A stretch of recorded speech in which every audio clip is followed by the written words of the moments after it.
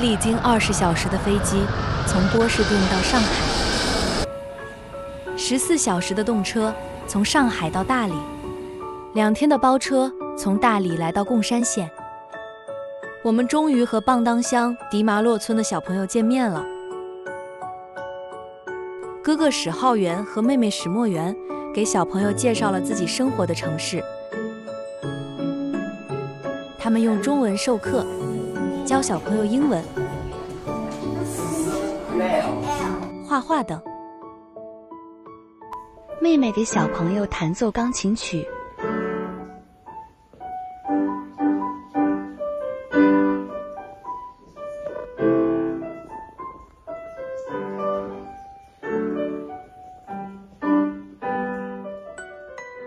哥哥带着小朋友踢足球。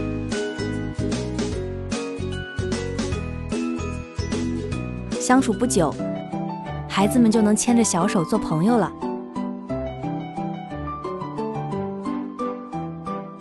当小老师离开的时候，孩子们依依不舍。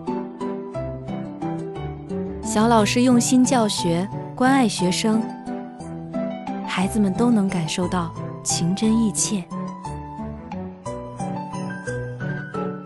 通过支教，小老师们感受到了给予的力量。欢乐的时光总是短暂，但情谊却能跨越山海。